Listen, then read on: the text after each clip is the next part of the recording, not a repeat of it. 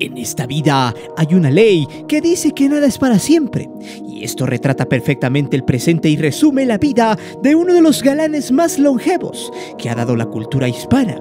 Un tipo que llegó a ser considerado un símbolo sexual a lo largo de dos o tres décadas porque es difícil echarse un brinco a las fotos de Andrés García en sus buenos ayeres y compararlas con la apariencia que mostró en la última entrevista que ofreció y que documenta un accidente doméstico que derivó en una herida y que ha mermado su ya deteriorada salud por los estragos de la vida y además del chupe y de la buena pachanga que este siempre se dio este video aparece débil, delgado, completamente demacrado, moribundo, sin saber qué hacer. Evidentemente, los medios de comunicación ya hicieron su agosto. Han inventado varias versiones de una caída que tuvo en casa. Han distorsionado sus dichos a tal grado que algunos portales señalan que el actor está desahuciado que le quedan pocos días de vida y muchas cosas desagradables que no tienen nada que ver con lo que realmente sucedió en su casa de Acapulco. De hecho, existen por ahí un par de videos que documentaron su fallecimiento desde el pasado jueves 7 de julio, y todo por generar morbo y reproducciones. Lo que es real y que vale mucho para la reflexión es preguntarnos lo siguiente. ¿Cómo es que un cuerpo tan atlético, tan fuerte, tan resistente, tan saludable y con tanto vigor ha perdido la fuerza para levantarse de la cama por su propio pie? Y sobre todo, ¿qué es lo que tiene que pasar para que una persona que a principios de año se veía estable, con un semblante no tan deteriorado, con la salud no tan menguada, y que podía hablar, moverse, fumarse un puro y tomarse unos tragos sin mayor problema?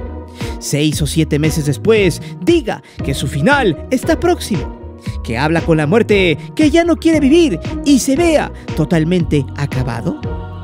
Prepárate, porque en esta ocasión analizaremos la vida, la carrera, los excesos y todos los factores que intervinieron para que Andrés García, a sus 81 años de edad, se encuentre completamente en el abismo, sin la energía que exige al ser humano para levantarse, caminar o simplemente mantener una vida digna y lo peor de todo, es que aún en ese estado sigue dando la nota y sigue robándose la atención de los medios y que muestra claramente que un día estamos y otro día puede llegar nuestro último suspiro de la vida. Es por eso que hoy te presento Bombitas, Fiestas y Alcohol, el miserable final de Andrés García. Antes de seguir con el video te invito a suscribirte al canal, activa la campana para que recibas todas las notificaciones de nuestro material y de las narraciones en vivo. Y también ya puedes hacerte miembro del canal donde recibirás contenido extra muy fregón, solo para el que quiera ponerse guapo. Te divertirás, te lo aseguro.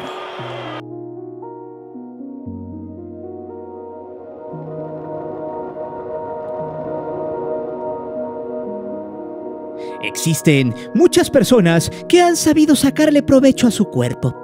Muchos atletas se han beneficiado de su potencia y de las capacidades con las que fueron privilegiados.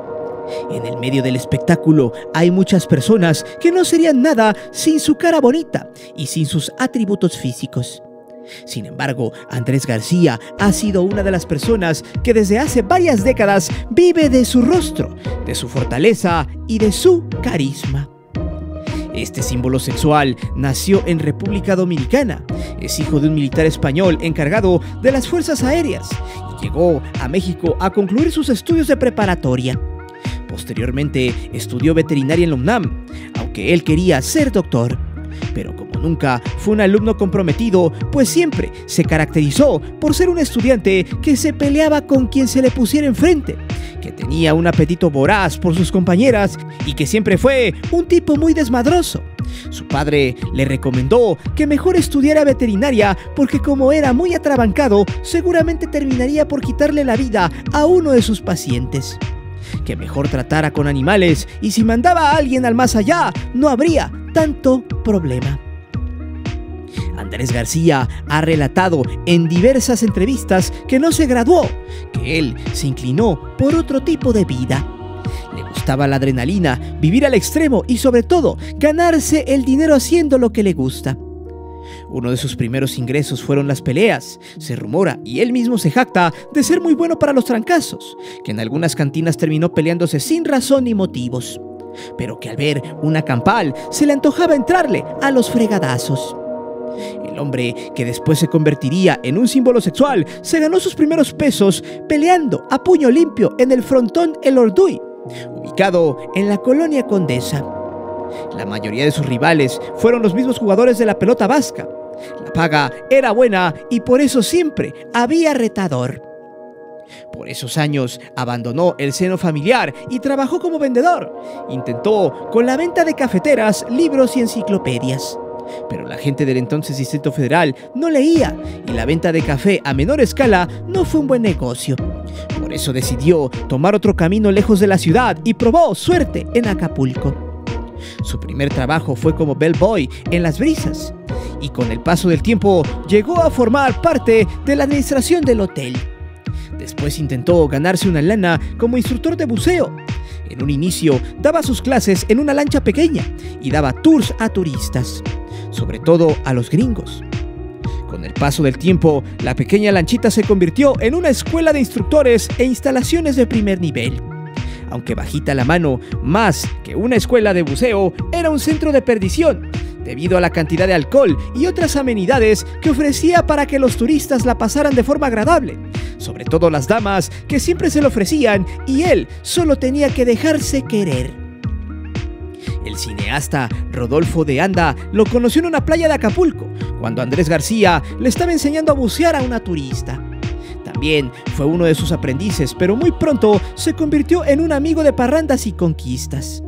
Debido a que el porte y la imagen de Andrés García resultaba un imán de mujeres extranjeras, que perdían el control en las playas de Acapulco gracias a su profesión de lanchero, de buzo o de animador de gringas, también conoció al escritor del Chanoc, quien le dijo que estaba trabajando en la historia de un personaje vinculado al mar, que era un pescador de perlas y tenía enredos con las mujeres.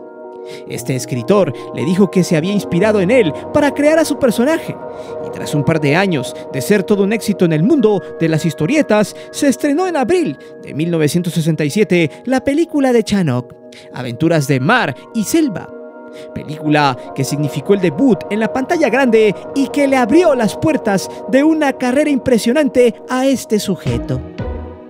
Una de sus películas más importantes y por las que se colocó dentro de la crema innata del cine mexicano fue la película de Pedro Navajas, donde dejó muy en claro que le sobraba personalidad, carácter, inteligencia, picardía, aunque también se tiene que reconocer que la gran mayoría de las películas donde participó no eran de tinte dominguero, populachero y muchas de ellas tenían nombres morbosos del estilo minifaldas con espuelas, el sexólogo, muñecas de medianoche, una gallina muy ponedora, el sexo sentido, las cabareteras o las mujeres de Jeremías eran la crema innata del doble sentido, de la cábula y el albur, donde las papayas más frescas de la época desfilaban una tras otra por su entrepierna. Después de su participación en Chanok, tuvo una racha impresionante en el cine, ya que se mantuvo activo desde 1968 hasta 1992. En 1993 se tomó un descanso y su última película fue filmada hasta el 2002. En distintas entrevistas ha mencionado que apareció en 106 películas, en 6 series, 17 telenovelas, 4 obras de teatro y 5 programas de televisión. Andrés García tenía la pelenga más seductora que nuestras abuelas y tías quedadas saboreaban día con día.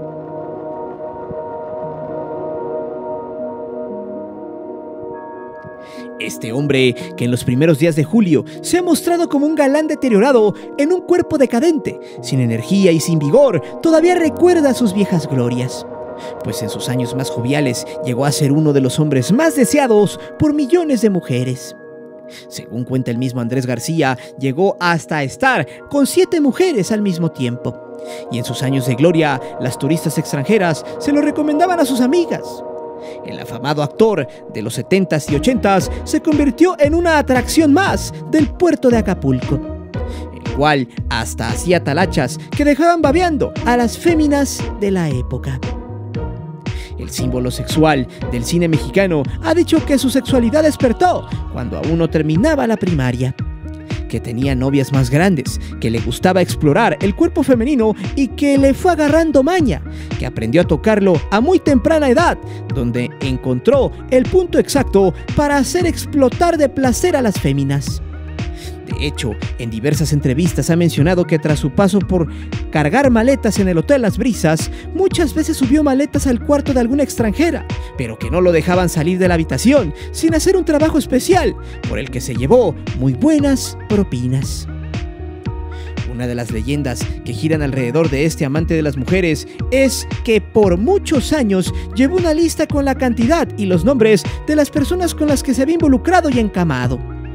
Según él, se desinteresó en la lista cuando rondaba las 600 u 800 personas, pero cuando esto sucedió, apenas este tenía 26 años.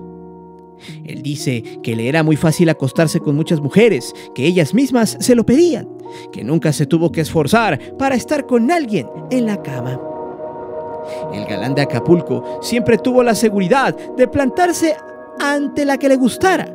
Y según él, siempre pudo estar con la mujer que deseaba, ya fuera para una costón casual, para mantener una relación amorosa, para vivir en unión libre o hasta para casarse.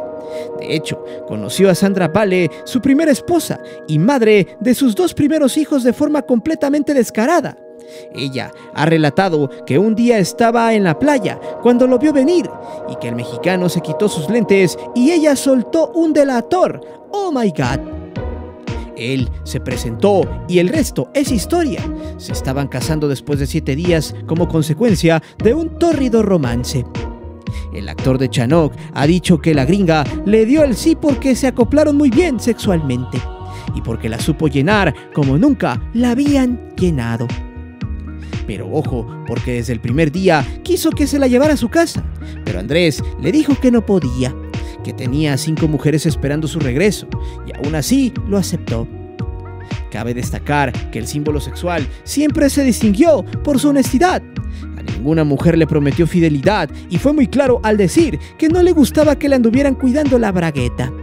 Que él tampoco las andaría checando y que el respeto se daba cuando estuvieran juntos, pero cuando él andaba chambeando o en la fiesta, cada quien podría hacer lo que quisiera. De hecho, una de las primeras peleas fuertes que tuvo con su primera esposa fue que le tenía prohibido ir a su escuela de buceo, y un día lo fue a buscar sin haberle avisado. Cuando la mujer llegó al lugar, se encontró con una fiesta sin control. Había mucha gente desnuda en la mera fiesta y por todo el lugar había parejas dándole con todo. Obviamente, el macho alfa lomo plateado se indignó porque lo fueron a checar, porque lo desobedecieron, siendo esa una de sus peleas más fuertes con su primer matrimonio. Su segunda esposa fue Fernanda Ampudia y juntos trajeron al mundo a Andrea García, quien se desempeña como actriz y presentadora de televisión. Este matrimonio no tuvo tanta importancia para el actor. De hecho, su hija es quien menos ve de sus hijos y ha dicho que su padre siempre brilló por su ausencia. Cabe destacar que su segunda esposa fue la que menos paciencia le tuvo con el tema de los celos, infidelidades y su particular estilo de vida. Por la época en la que le dio vida al personaje de Pedro Navajas, se cruzó con Sonia Infante, la sobrina del ídolo de la balada ranchera quien fue una de las mujeres más bellas y con mayor personalidad de su época. Ambas luminarias han referido que los unió la pasión, el descontrol y el tórrido romance que sostuvieron, pero que fuera de la cama no había mucho que compartir. Su cuarta y última esposa es Margarita Portillo. Se conocieron en una misa y los presentó el sobrino de la mujer. Vale la pena mencionar que este matrimonio sigue vigente y que ella lo debe de amar mucho para soportar el estilo de vida que han llevado desde hace muchos años. Debido a que cada quien tiene su casa, ella siempre estuvo consciente del nivel de poligamia que tiene su esposo, que no cree en la fidelidad, que no le gusta la compañía y a pesar de todo eso, lo ha aguantado, ya que se casaron en el 2011 protagonista de Pedro Navajas, también ha compartido su vida con mujeres con las que no se ha casado, solo ha vivido en unión libre, porque se dio cuenta que el matrimonio no estaba hecho para su estilo de vida y porque siempre las mujeres se alejaron de él porque les afectaba compartirlo. Él las enamoraba tanto que muchas lo querían de forma exclusiva lista que tiene entre sus amantes, amigas cariñosas, amigobias o entre las compañeras de cama más famosas están nada más y nada menos que Irma Serrano, Carmen Campuzano, Lucía Méndez, Isela Vega, Anel Noroña y muchas más, de las que ya ni se acuerda o que le pidieron no hacer público su romance. Su lista de amantes es muy amplia y el mismo Andrés García ha mencionado que supera con facilidad la lista de amantes de Julio Iglesias, quien ha dicho a la prensa que se ha acostado con más de 3.000 mujeres. Uno de los privilegios de haber salido en tantas películas tiene que ver con los besos que le dio a sus compañeras. Este personaje ha mencionado que en las distintas películas a la hora de lo sabroso, él no fingía y que sus compañeras se dejaban querer. Obviamente, después de darles una prueba, la gran mayoría se quedaba con ganas del plato fuerte, pero el privilegio está en que otras compañeras los escuchaban y se les antojaba. Para rematar, se tienen hechos de que una enfermedad lo llevó a perder la virilidad, y él no se podía quedar sin lo que fuese su sello como persona. Imagínate ser un símbolo sexual y que la berenjena ya no te responda. Es la muerte. Fue por eso que le han tenido que poner tres bombitas que levantan su herramienta y que gracias a esa ayuda mecánica puede pasar horas y horas complaciendo a sus parejas. De hecho, para estrenar la primera, se reunió con un selecto grupo de mujeres a las que complació por mucho tiempo siendo uno de los eventos que jamás olvida y que fueron el parteaguas de la degradación de su carrera hasta nuestras fechas.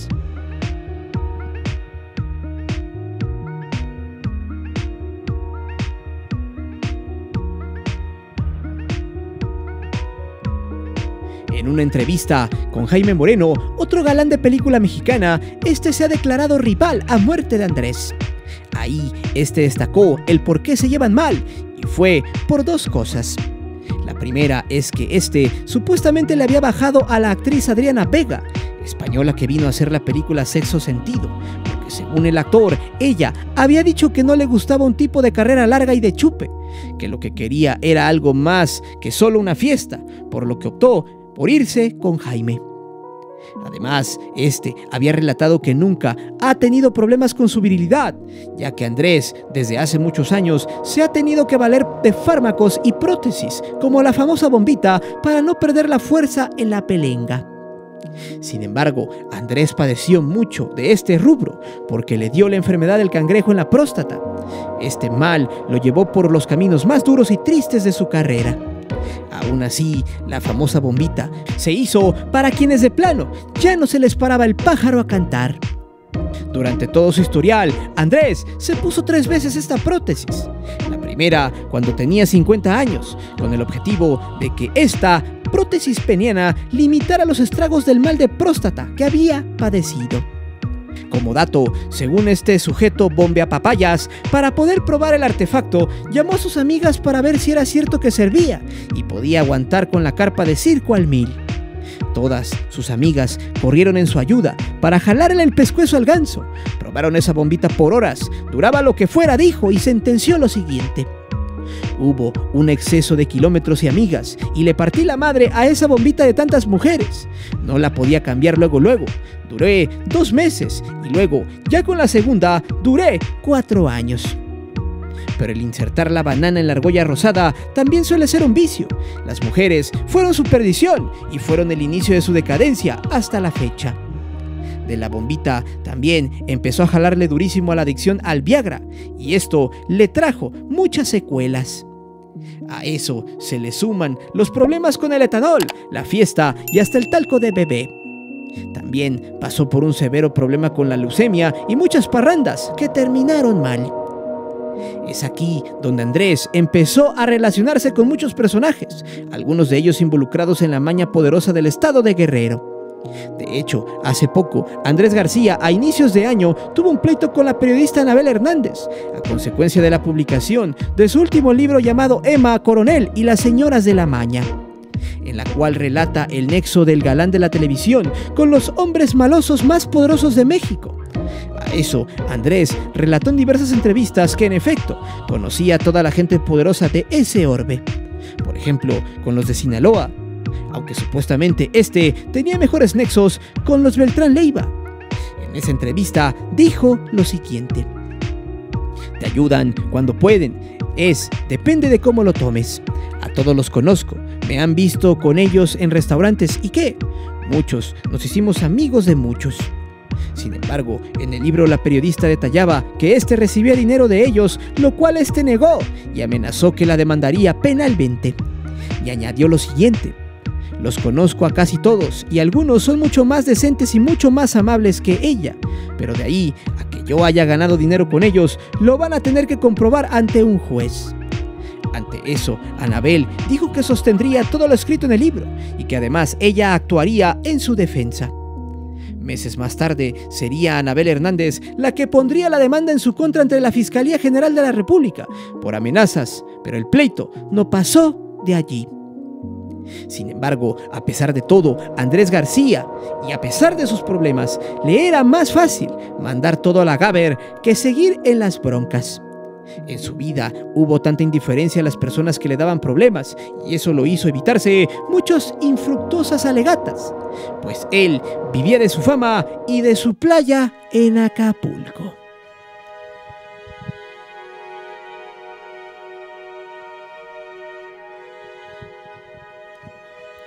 Pero como dicen por ahí, todo por bien servir se acaba, y hoy Andrés García está al borde del final. La edad, los estragos de la vida y las enfermedades lo han acabado.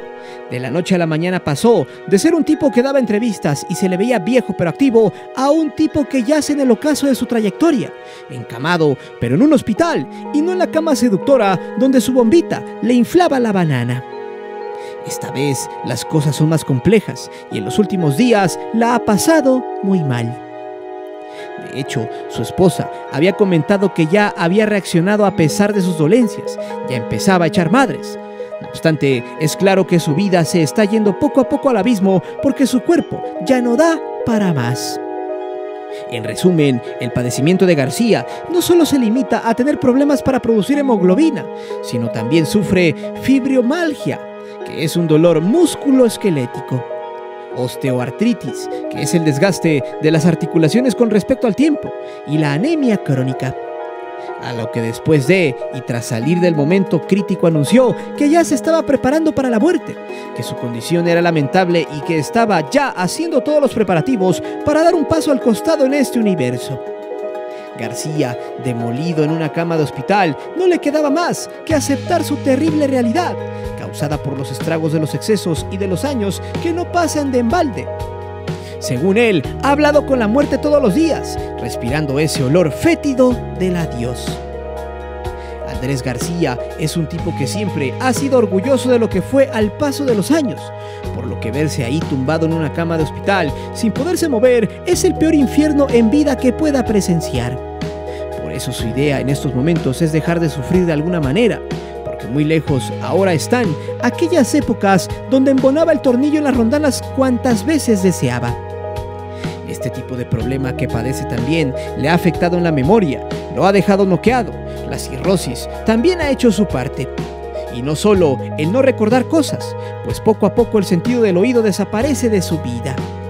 Prácticamente García está acabado, en una edad totalmente despiadada para quienes gozaron de la vida loca en sus tiempos mozos. En su delirio de edad, Andrés dijo que ya pelea con guerreros. En sus pesadillas defendía su vida de estos seres que lo atormentaban en sus sueños. Sin embargo, este tipo de eventos hicieron que Dormido lograra demoler sus nudillos que golpeaban contra la pared. En realidad, no se augura mucho el futuro del actor, quien poco a poco empieza a resignarse. Jamás volverá a ser lo que fue por obvias razones. Desahuciado mentalmente y no física como muchos desean verlo, Andrés sabe muy bien que está en la etapa de la bomba de tiempo. Es por eso que su herencia la ha dejado en orden. Su esposa Margarita y algunos de sus hijos se quedarán con ella, además de que Roberto Palazuelos también está allí, uno de los personajes con los que mejor se ha llevado y a quien ve como a un amigo o hijo. Aunque muchos saben que también a la herencia no hay quien le corra, el diamante negro también advirtió que no le queda mucho tiempo y que en cualquier momento cualquier cosa puede pasar, augurando la inoportuna ley de la vida. Es así como este personaje poco a poco siente pasos en la azotea. Muy lejos quedaron aquellas noches de Acapulco donde el hongo pelón trabajaba de más y tenía extensos kilometrajes cada semana en los túneles de las féminas, que extasiadas por el macho alfa se ponían a perrito para poder satisfacer sus más deseos calientes. Andrés fue un símbolo sexual, un tipo que estaba en otro nivel que de lanchero y buzo pasó a ser uno de los personajes más mediáticos de 1970 y 1980. El galán de telenovela que dejó la actuación para vivir de sus dotes sexuales, pero también de la fiesta y la perdición. Esas dos situaciones que lo tienen próximo a morder el polvo. Pero dime, ¿qué es lo que más recuerdas de Andrés García? ¿Piensas que fue un superdotado con las mujeres? ¿Te gustaría seguir sus pasos en la cama? Déjame saber tus respuestas aquí abajo. Recuerda que aquí leemos siempre los comentarios y no olvides de suscribirte al canal y de activar la campana de notificaciones. Mi nombre es Guillermo Antonio. Nos vemos hasta la próxima.